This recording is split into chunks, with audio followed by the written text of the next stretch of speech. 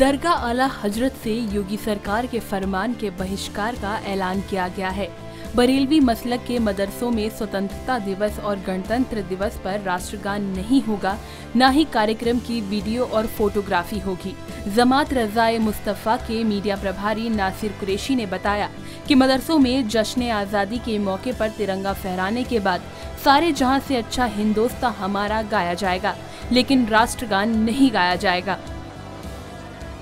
मौलाना असजत रजा खां कादी साहब, जो ताजुशरिया के शहजादे हैं और जमात राय मुस्तफ़ा के राष्ट्रीय अध्यक्ष हैं, उन्होंने एक बयान जारी किया कि मदरसों में, तमाम मदरसों में देशभक्ति के गीत भी गाए जाएँ, सारे जहाँ से हिंदुस्तान भी गाया जाए, आज़ादी का जश्न भी मनाया जाए, और जो आज़ादी की लड़ाई में हिंदू और मुस्लिम शहीद हुए हैं, उनको याद भी किया जाए। मिठाइयाँ बांटी जाएँ, जश्न में कोई कमी ना की जाए। लेकिन जहाँ बात शरीयत की आती है और जो जिस बात को शरीयत मना करती है उससे बचने का हुक्म दिया गया। इसलिए एक फरमान जारी किया गया है बरेलवी मदरसे के सभी लोगों संचालकों को, उनके प्रबंधकों को, कि वो जो हैं पंद्रह अगस्त के दिन राष्ट्रगान ना गाएँ।